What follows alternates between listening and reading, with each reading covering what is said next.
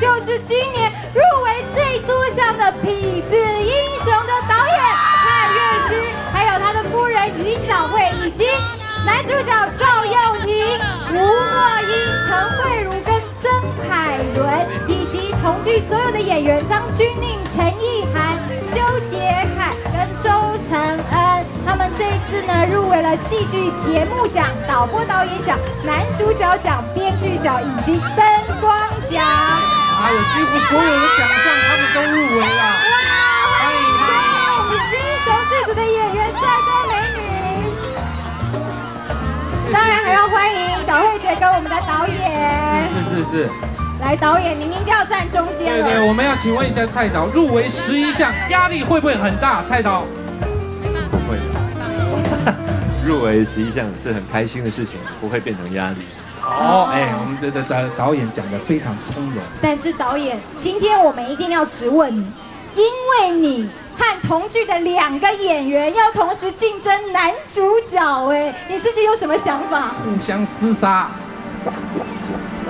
因为两个人都演得非常的好，然后我我当然这样的机会是一个良好的竞争，但是我觉得那是一个，我觉得是一个很美好的发展，只能看着他们这样子。哎 那我们要问一下又婷啊，赵又对不对廷啊？不因为为导演说两个都表现得很好，您觉得谁表现得比较好？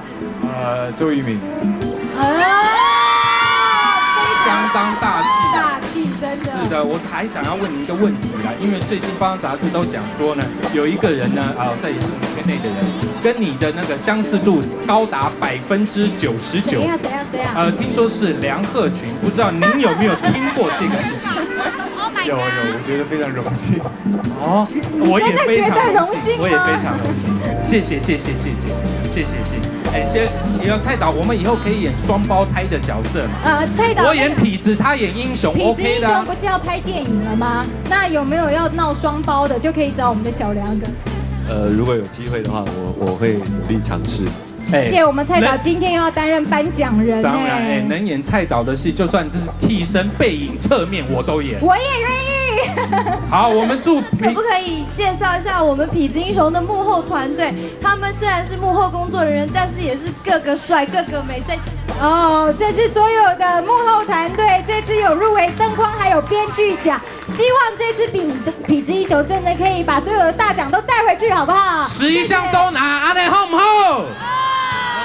谢谢谢谢谢谢痞子英雄的剧组，谢谢谢谢谢谢谢谢谢谢大家。谢谢蔡导，谢谢。